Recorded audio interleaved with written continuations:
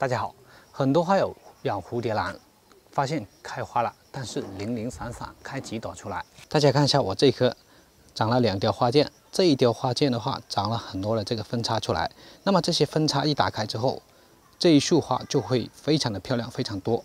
那么植食蝴蝶兰开花少的原因，就是由于平时没有能源源不断的给它补充磷元素，所以呢，我们想要蝴蝶兰达到这种效果，花感又多。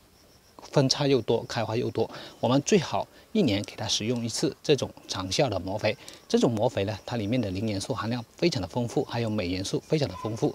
那么磷元素加上镁元素，可以强壮蝴蝶兰的根系，同时又可以促进它花芽分化，更加容易让它长更多的分叉出来。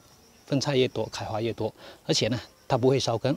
因为它是通过蝴蝶兰在生长的时候根系释放出来的有机酸来溶解这些膜肥颗粒的，它不受水和温度的影响。